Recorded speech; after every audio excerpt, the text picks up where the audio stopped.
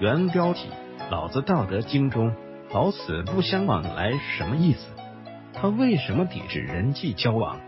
老子《道德经》第八十章有这么一句话：“邻国相望，鸡犬之声相闻，民至老死不相往来。”意思是说，和邻国距离很近，相互间可以望得见、听得到彼此的鸡鸣犬吠，但是人们从生到死，一辈子也不相互往来。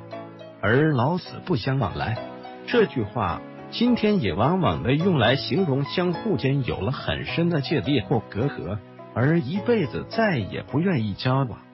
老死不相往来，老子这句话有什么智慧呢？难道老子的智慧就是拒绝人际交往吗？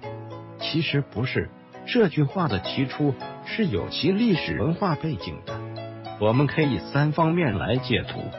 首先，老子的时代是一个大动荡时代，国与国、君与臣、人与人、统治者和老百姓之间呈现出不可调和的矛盾，相互争斗，人际关系非常的复杂。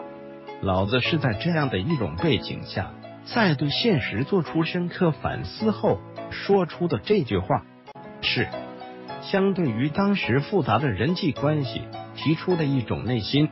最淳朴简单的人际关系的构想，人类的人际关系本来是非常简单的。比如在原始农业社会，自给自足，人和人之间很少的经济交换关系。但是人类越发展，人际关系变得越复杂。就比如说现代社会，尽管各种信息技术、通讯技术日新月异、空前发展，但是。国与国、人与人的关系反而变得更加复杂，所以老子描写了一个心目中理想的社会人际关系，也就是乌托邦伊甸园，或者是世外桃源。这里的老死不相往来，我想老子的意思并不是说相互之间不来往，你不理我，我不理你，而是指没有经济利益这些方面的往来。相互之间没有利害关系，不争不斗，不恋名利，不贪财物，这种人际关系其实也是后来很多人都向往的。陶渊明的桃花源，又是多少人向往的人生？但老子不是一个空想家，他知道理想很丰满，现实很骨感，所以他知道想要改变现实，就要清醒地面对现实。要把现实中的人际关系理解透，这也是老子和庄子不同的地方。庄子思想是天马行空，完全脱离现实。一会庄周梦蝶，一会鲲鹏水击三千里，一会逍遥游太虚。老子固然也有道家的飘逸洒脱之风，但是读他的文字，你又常常看到从书中走来一个小心翼翼、如履薄冰。